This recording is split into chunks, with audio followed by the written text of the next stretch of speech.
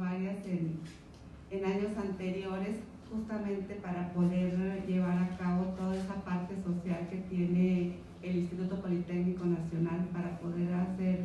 pues este tipo de campañas, este tipo de colectas que vienen a,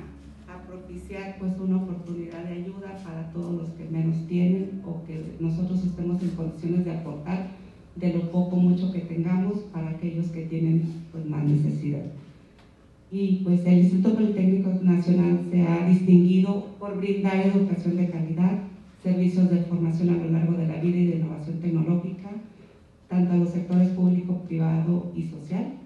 como una premisa de su quehacer en sus 85 años ya de, de existencia en, en, territorio nacional,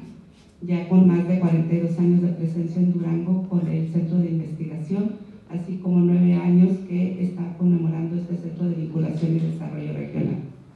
Este día nuestra institución, con su vocación de servicio social, se une a asociaciones civiles y empresas locales aliadas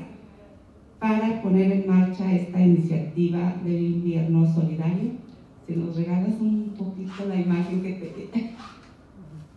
Perdón, gracias. Y pues bueno, que consiste justamente en la donación de juguetes, ropa para donar a sectores vulnerables de nuestra entidad.